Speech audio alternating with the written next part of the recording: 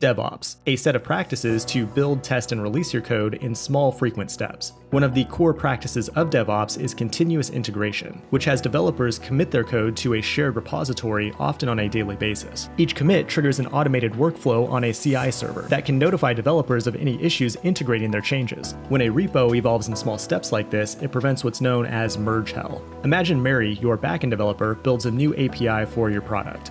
Shortly after, Jane, your front end developer, starts work on a new UI.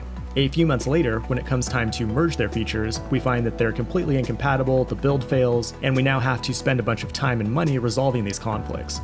Let's go ahead and build a continuous integration pipeline now to see how it prevents issues like this. Here on GitHub, I have a Node.js web app. In order to deliver this app to my customers, I need to run three commands test, build, and deploy. I can automate this entire process in the cloud by using a CI service like GitHub Actions. First, I create a workflow, and then I tell it to run on every push to the master branch. The event triggers a job that runs on a Linux container in the cloud. Then we tell the container what to do as a series of steps. First, it checks out the code in this GitHub repo, then sets up Node.js, installs my dependencies, and runs my test, build, and deploy commands. Now, anytime we commit code to the master branch in this repo, it will run this workflow.